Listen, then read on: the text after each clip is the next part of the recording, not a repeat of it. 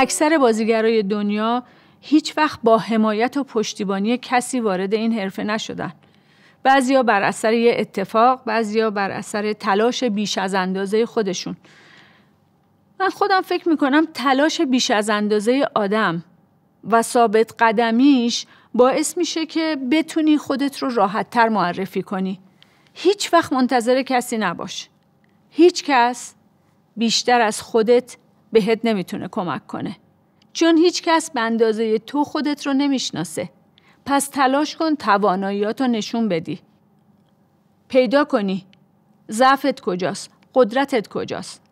اگر اشکالی در حرف زدنت هست، اگر اشکالی در راه رفتنت هست، یا در فیلم دیدنت یا در نمایشگاه نقاشی رفتنت یا عکس گرفتنت اینا رو خودت تلاش کن از بین ببری از دیگران کمک بگیر و خودت رو اصلاح کن و این تلاش تو برای ساختن خودت باعث میشه دیگران تو رو ببینن.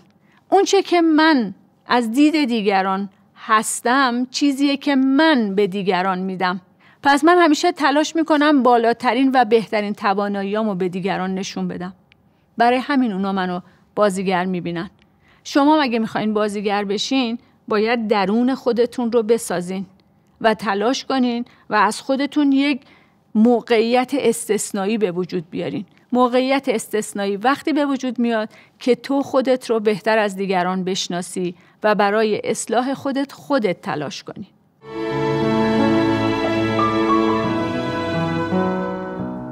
من عاشق این بیتم که ای صوفی شراب آنگه شود ناب که در کوزه بماند اربعینی. این مثل یه سرلوحه کار برای من. یعنی اینکه صبور باش. یعنی اینکه تحمل کن. می‌دونی صبوری باعث میشه که درست به نتیجه برسی. اینکه من بگم بابا من همه این درسای بازیگری رو خوندم همه این تمرینا رو کردم پس چرا من بازیگر نشدم؟ پس کی بازیگر میشم؟ پس کی معروف میشم؟ پس کی پولدار میشم؟ اینا رو که کلا باید بریزیم دور ولی اگه بخوایم یه بازیگر خوب بشیم واقعا واقعا باید صبور باشیم که همه اینا تهنشین بشه. تمام چیزایی که یاد گرفتیم تمام چیزایی که داریم تمرین می‌کنیم. من چیزی بیش از یک سال تمرین کردم برای اون صدایی که مربیم روز اول گفت تو صدات بده نمی‌تونی بیای بازیگر بشی. یک سال تمام تمرین کردم تا صدام متعادل بشه. صدایی بشه که دیگران وقتی میشنون برنگردن بگن این مثل جیر جیرک میمونه. من چیکار کردم؟ صبوری کردم و تلاش کردم و به نتیجه رسیدم. عجله در بازیگری بدترین اتفاق ممکنه رو برای آدم رقم می‌زنه. ممکنه آدم حاکم یک شبه بشه ولی نمی‌تونه ادامه بده. ولی اگر صبر کنی می‌تونی تا ابد بر قله های بازیگری حکومت کنی.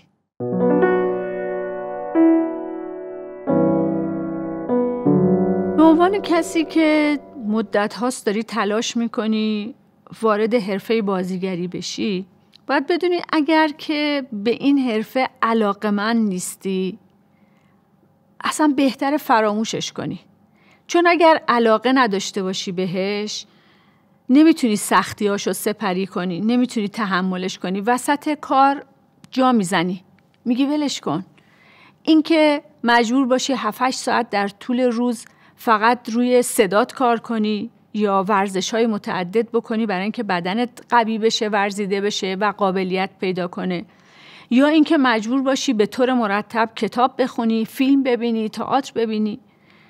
اگر توان این کارا رو نداری بهتره پس تلاشی هم براش نکنی. فقط به عنوان یک تماشاچی و یک علاقمند ساده باقی بمونی. اما اگر که واقعا تصمیم تو گرفتی و حاضری تمام سختی های این حرفه رو با دل و جون بپذیری و سپریش کنی باید یه راهی هم پیدا کنی که خودتو نشون بدی. بهتر آدم فراموش کنه که کسی می‌تونه بهش کمک کنه. هیچ کس بهتر از خود آدم نمی‌تونه به خود آدم کمک کنه. می‌تونی جلوی آینه بازی کنی. می‌تونی با این وسایل خیلی مدرن این روزها که حتی یه موبایل کوچیک هم می‌تونه انجام بده وایسی و بازی کنی و بازی تو ضبط کنی و بذاری جاهای مختلف که دیگران ببینن. یا اینکه اگر می‌بینی فضایی مساعد و مناسب هست در یک محیطی شروع کنی به بازی کردن. خودت شروع کن یه نمایشنامه یا یه فیلمنامه رو گرفتن و نقشای مختلف رو کار کن اشکالات تو بپرس. این همه آدم هست که می‌تونه به تو کمک کنه بابت اینکه اشتباهات رفت بشه. برای اینکه این کار رو بخوای بکنی می‌تونی از دیگران کمک بگیری ولی عامل اصلی حرکت خودت هستی. کارتو به دیگران نشون بده. از هر راهی که می‌دونی. توی مدرسه روی سن آمفیتئاتر مدرسهتونه یا توی یه پارک یا توی یک مجلس خانوادگی یا بین دوستات. هر محیطی که پیدا می‌کنی که می‌تونی تماشاچی داشته باشی کارتو بهشون نشون بده. بالاخره یه نفر تو رو کشف می‌کنه.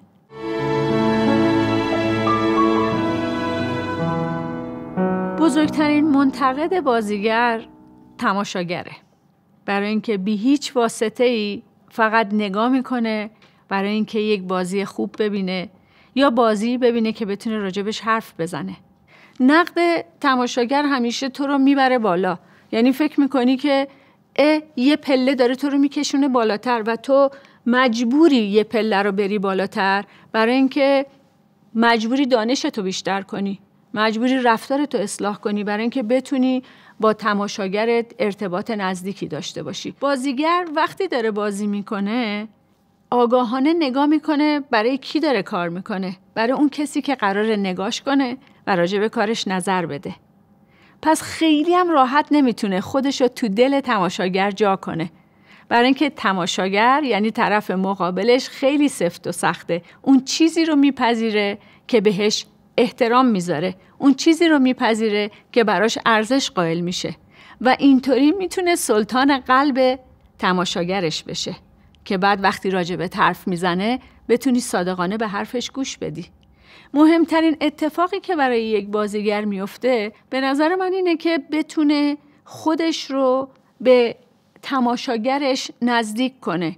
گاهی اوقات اون از نگاه تماشاگر و گاهی اوقات تماشاگر از نگاه اون به یک موضوع واحد نگاه کنن.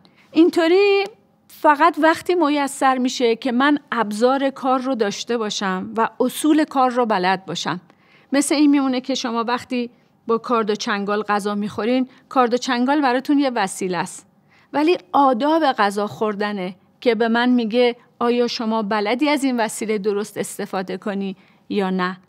پس من باید آداب بازیگری رو بلد باشم تا بتونم در تماشاگر نفوذ کنم.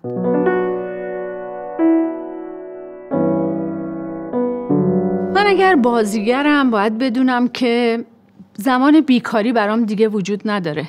یعنی فقط این نیست که جلوی دوربین فیلم برداری باشم یا روی صحنه تئاتر باشم. اتفاقا فاصله دوتا کار زمان خیلی پرمشغله تریه برای من. چون من مجبورم این ظرفی رو که توی فیلم یا توی نمایش یه کمی خالی شده پرش کنم. با خوندن با دیدن با سفر کردن با حرکت کردن با معاشرت کردن با پیدا کردن با کشف کردن. اتفاقا توی این خلایی که ما فکر می‌کنیم کار نداریم پرکارتر از هر زمان دیگه ای خواهیم بود. اگر می‌خوایم بازیگر باشیم باید یه برنامه روزانه داشته باشیم. یعنی بدونم در طول روز یک ساعت باید مطالعه کنم. می‌دونم در طول روز یک ساعت باید معاشرت کنم. می‌دونم کتابایی که باید بخونم یه خط فکری داره. یعنی این کتابا ممکنه فقط راجع به بازیگری باشه. شیوه های مختلف بازیگری. می‌تونم زندگی نامه بازیگرای متفاوت رو دنبال کنم. می‌تونم فکر کنم که سینما از کجا شروع شده و به کجا رسیده در حال حاضر و کتاباشو تنظیم کنم بخونم. می‌تونم فیلم ببینم. فیلمایی که به تاریخ سینما مربوط میشه. اصلا فیلم های قدیمی تر نه فیلم های بروز نه فیلم که فقط اکشنن و مال همین امروزن. این آگاهی من و دانش من نسبت به الانه. نسبت به گذشته آگاهی پیدا کنیم.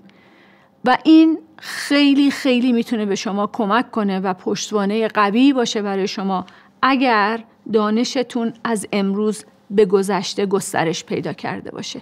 یعنی هرچی اطلاعاتتون رو راجع به بازیگری راجع به تاریخ سینما راجع به فیلم و حتی ادبیات به گذشته ببرین آینده غنیتری خواهید داشت.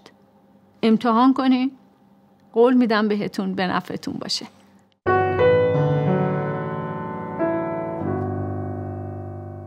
من سعی کردم که در این صفحه نو با هم به شکل نوتری به حرفه بازیگری نگاه کنیم. حرفه ای که برای من مثل یک خیال بود و توش با یک سخت کوچی بسیار زیاد تبدیل شد به یک حرفه. حرفه ای که بهش علاقه مندم توش کار می‌کنم و برای تغییرش حاضرم تلاش کنم. و شما به عنوان کسی که این دوره رو با هم همراه شدیم اگر تمام این حرفا رو فقط مثل یک حرف و در تئوری گوش بدین به دردتون نمی‌خوره. اینا وقتی به دردتون می‌خوره که بهش عمل کنین. یعنی تلاش کنین برای چیزی که می‌خواین. وقتی که ما دانشمون رو به کار نبریم بعد از یه مدتی از بین میره. اگه بازیگریم به عنوان یه بازیگر موظفیم که هی خودمون رو روغنکاری کنیم. یعنی در طول زمان کارمون ورزش کنیم به صدامون برسیم کتاب بخونیم فیلم ببینیم تئاتر بریم نمایشگاه نقاشی بریم کنسرت های مختلف رو دنبال کنیم و خودمون رو به روز نگه داریم. به روز نگه داشتن فقط با اتفاقات دوروبرمون نمیفته به روز بودن از درون آدم میاد بیرون. اینکه من چقدر تمایل دارم خودم رو هر روز بازسازی کنم. بازسازی من چیه؟ وسایل کارمه. یعنی صدامه و بدنمه. و مهمتر از همه اینجاست. که باید توشو هی پر کنی و پر کنی تا بتونی به موقعش ازش استفاده کنی. من خیلی وقتا کارایی رو که انجام میدم نتیجه یه چیزیه که از قبل یاد گرفته بودم و امروز به کارم اومده. شما باید این کارو بکنین. امیدوارم که همیشه پر از انرژی باشین. یه رمزی وجود داره به اسم لبخند. وقتی آدم لبخند بزنه به خودش یعنی اینکه به جهان لبخند زده. وقت جهان بازیگری با لبخند هم زیباتر هم پرقدرتتر.